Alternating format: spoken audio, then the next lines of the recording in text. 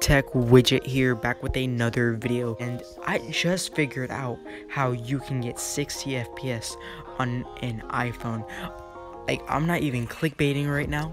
It's I have an iPhone 7 Plus matte black 128 gigabytes and I can get 60 FPS so before this glitch, it has 20 or 30 FPS, right? So that proves that I don't have a 60 FPS option.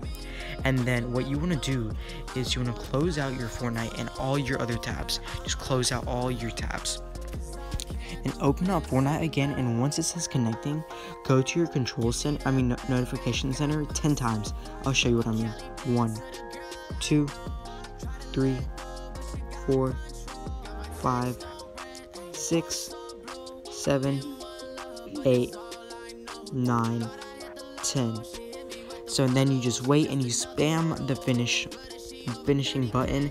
And don't worry guys it's probably not gonna work on your first couple tries because mine's probably gonna work on my third or fourth try. I might even get lucky on my first try.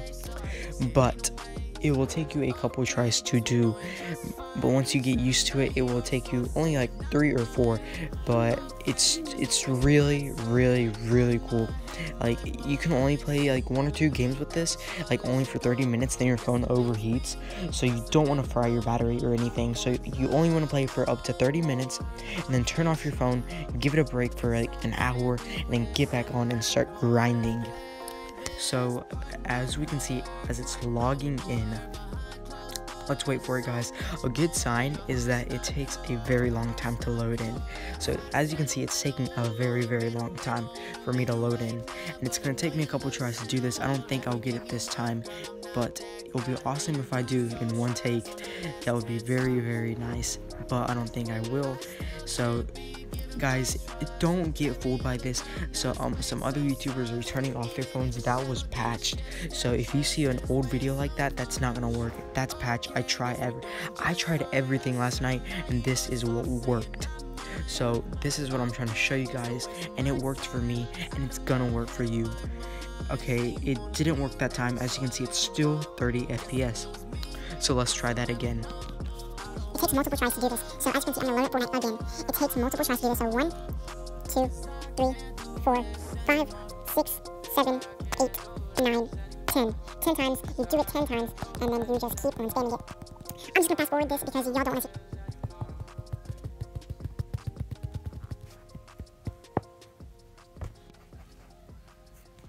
As you can see guys we are loading in with a loading brand new loading screen. So it's gonna take me a couple tries. This is my second try. And as you can see we got it on my second try guys. Right there and let's go to settings really quick. As you can see it's still 30 and 20 and look how good it look much. I'm gonna hop into a solos match to show you how good it performs. It is a game changer. If you have one of the older phones like an iphone SE or an iphone 7 it is a game changer. I am you guys, or change Okay guys, as we are loading into the game, look how smooth. Oh yeah, guess we doing just fine. Said I'm not so I say you're not